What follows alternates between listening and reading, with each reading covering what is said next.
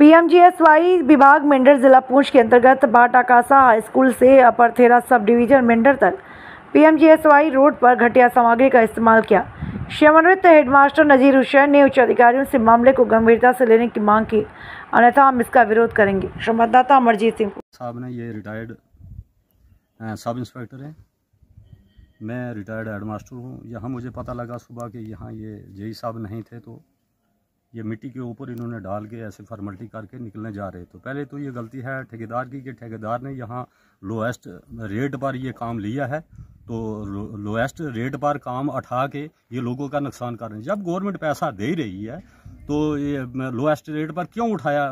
इसने ठेकेदार ने क्यों उठाया और क्यों हमारा ये नुकसान करे? कल ये उखड़ जाएगी, फिर ये अब कहते हैं ये बीस एम एम ये डाल रहे हैं, आप बीस एम एम तो हमने यहाँ सुबह यहाँ गाड़ियाँ वगैरह रोकी हमने।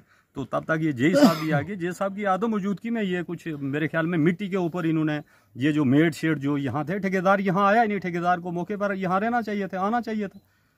ठेकेदार आया नहीं यहाँ मेट वगैरह लगा है मिट्टी पर इन्होंने डाल दी है जो यहाँ सुबह ऐसे ही उखड़ रही थी तो तब हमने गाड़ियाँ रोकी और तहसीलदार साहब को बुलाया। अब तहसीलदार साहब ने अशोर किया है जय साहब भी यहाँ मौके पर आ गए हैं जय साहब को भी हदायत दी है कि यहाँ से आगे हम साफ़ करके लेकिन जो मेन इसमें काज है यही है कि बी एम एम की ये डाल रहे हैं तो बी एम एम एम की कितना अरसा तक रुकेगी?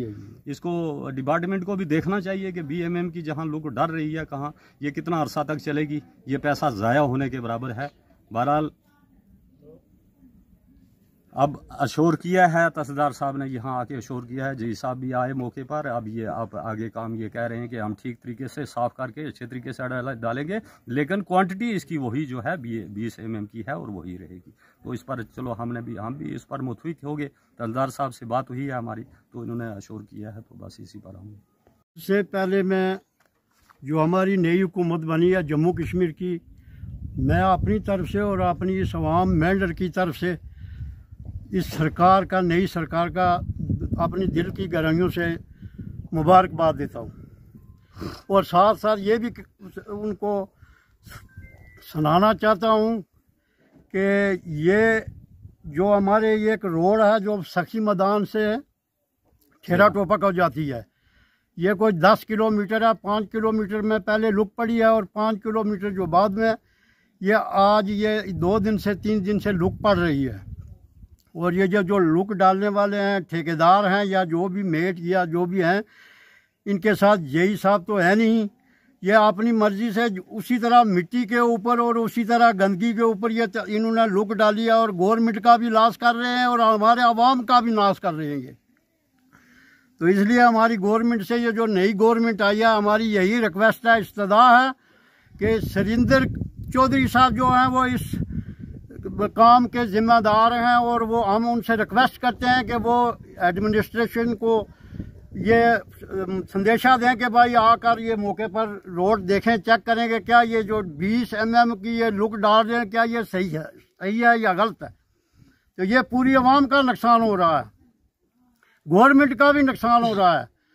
तो ये ऐसे ही टेम्परेरी ये डाल रहे हैं। आप बीस एम mm की तो कुछ गारंटी नहीं है। जो असली पहले लुक डाली थी, आप उसके बाद ये पंद्रह साल से लुक डल रही है। पंद्रह साल के बाद।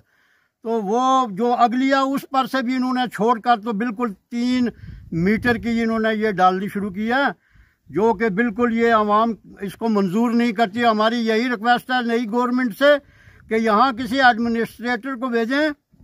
और वो यहाँ चेक करें, देखेंगे क्या यह सही है काम या गलत है। अगर गलत है तो दोबारा इसको ठीक करें, अगर सही है तो हम आगे कोई भी कार्रवाई करने के लिए मुतफिक नहीं है। हमने सुबह यहाँ ट्रैफ़िक रोकी थी, ये लोग इकट्ठे हो गए थे और उन्होंने ये फिर यही साहब भी बाद में आ गए और तहसीलदार साहब मौके पर आए और उन्होंने आकर ये चेक किया और इनको बताया कि भाई ये दोबारा खेड़ कर इसको अच्छी तरह से सफ़ाई करके लुक डालें। तो बस मैं यही, इन्हीं बातों पर इतफाक़ करता हूँ। तो ये हमारे काम की